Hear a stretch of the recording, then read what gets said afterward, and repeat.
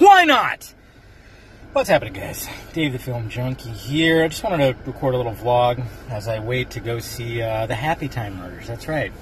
I'm gonna go. I just got off work, and I was like, you know what? I'm gonna go see this movie because I'm supposed to meet up with uh, a friend uh, later on, and I wasn't gonna make two trips. Anyways, it's besides the point. Why are we talking about a Rian Johnson Man of Steel 2 possibility? Well it's there's no weight behind it. It's you know somebody tweeted it out, and for some reason, when this person tweets out, people freak out. You know when he does something mysterious, and then he plays dumb, like, "Hey, I didn't mean anything by it."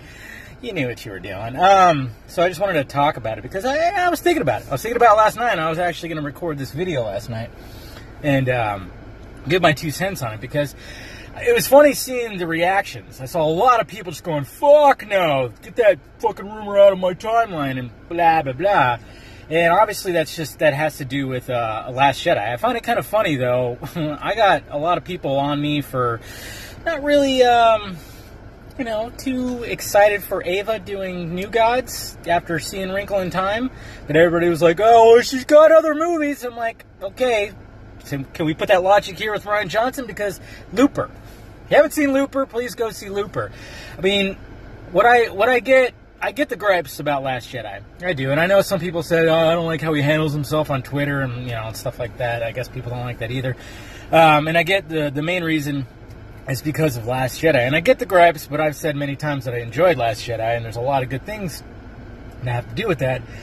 And I was like, well, I wouldn't mind. Eh, maybe you could have an interesting take on on Superman. I mean, eh, well, you know, who knows? It's not going to happen because, as, and this is another thing, another reason why I wanted to do this video because, as far as I can tell, there's no way that he would do Man of Steel 2 because he's currently working on a new trilogy saga for Star Wars. But then a lot of people said it was canceled, and I started searching, and I didn't see anything on the big trades. I saw little things here and there, and then what I mainly saw from everything was uh, that they canceled the spin-offs, and which is why we're not getting an Obi Wan movie announced yet because of what happened with Solo. And it's like, you guys I just wish they had realized an Obi Wan movie was the way to go in the first place. I mean, a solo movie. I mean, the, everything with the solo movie was just all jacked up from the uh, not from the beginning, but I don't know. It's just a lot of things went wrong with that. You do an Obi Wan movie with Ewan McGregor, you're set. You're golden. That movie's going to probably make more than Rogue One, but for some reason there's nothing. And uh, yeah, so I, that's the furthest I saw about it. So if anybody has any solid information about them canceling his trilogy because of the backlash of Last Jedi, you know. And I know that was another thing too, because I'm I was kind of like, hmm, I've heard this song before, where a director was getting shit on by a fan base because they didn't like his take on the characters, deconstructing them and stuff like that. Yeah, some parallels too. Mr. Snyder. But at least if they canceled the trilogy before, if they canceled it before he started or was well into it, it you know, it'd be a lot better than, you know, trying to get him out as he's working on it or almost done with it.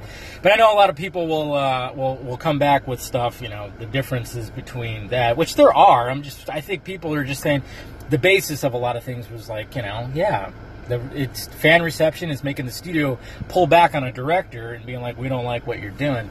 So that's I think what the the the, the similarities are right there. But um, you know, like I said, with Looper, I mean, there's even this movie Brick, which I know a lot of people have not seen. He's a talented filmmaker.